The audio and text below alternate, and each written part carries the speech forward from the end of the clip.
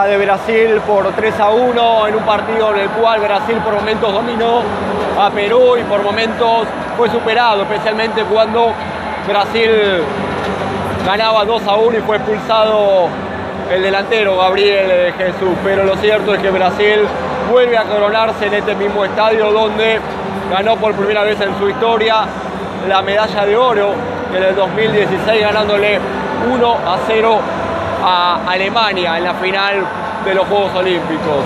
En el Estadio Maracaná, un estadio que hoy tuvo la presencia de más de 80.000 aficionados, la mayoría locales, pero también hubo un puñado de peruanos que vino a apoyar al equipo de Ricardo Gareca.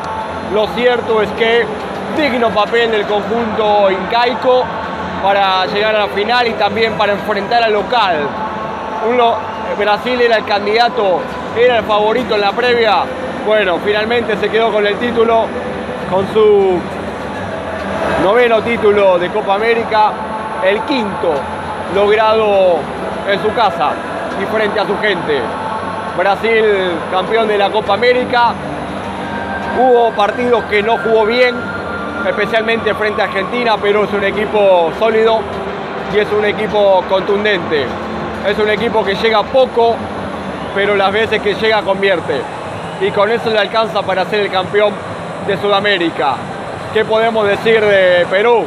Un equipo bien armado por el Tigre Gareca, un equipo que por momento le jugó de igual a igual y hasta llegó a empatarle a través de un penal convertido por Paolo Guerrero, pero después apareció eh, la eficacia de Brasil para convertir un gol de penal y también más temprano Gabriel Jesús había puesto en ventaja al conjunto local.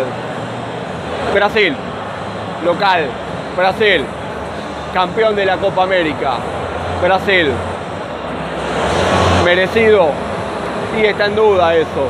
La verdad que fue mejor que otras elecciones, sí. Fue más sólido, sí. Convirtió más goles, sí. Fue el equipo que menos goles recibió, sí. Uno solo, hoy, frente a Perú. Fue local, también. Pero con poco, Brasil vuelve a coronarse en este místico estadio como es el Maracaná de Río de Janeiro.